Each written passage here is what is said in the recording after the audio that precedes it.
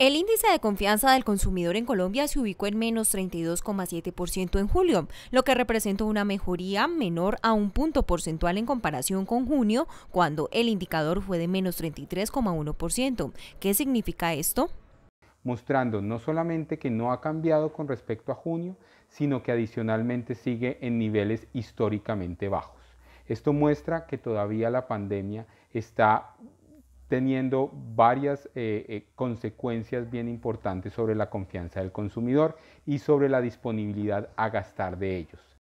Por nivel socioeconómico y frente al mes anterior, la confianza del consumidor colombiano aumentó 1,1 puntos porcentuales en el estrato bajo, mientras que disminuyó 0,9 puntos en el estrato alto y 0,2 puntos en el estrato medio.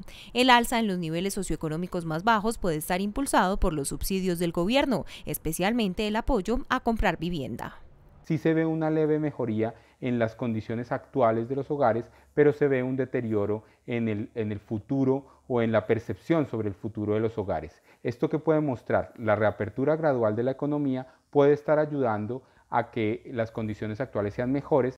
De acuerdo con Fedesarrollo, la confianza de los consumidores incrementó frente al mes anterior en Bucaramanga y Bogotá, mientras que disminuyó en Medellín, Cali y Barranquilla.